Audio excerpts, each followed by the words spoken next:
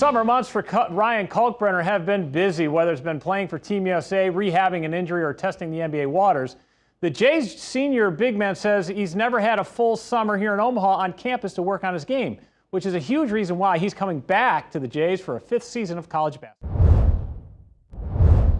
Unless we're very 100% sure we can get a really, really great, the perfect opportunity and fit in the NBA, we're just going to not go through the whole draft process and waste a month because that's a month I could be spending getting better, transforming my body and all that. The idea was how much better can I get if I actually have three full months to where all I'm doing is spending as much time in the weight room as I can, as much time on the court as I can and all that.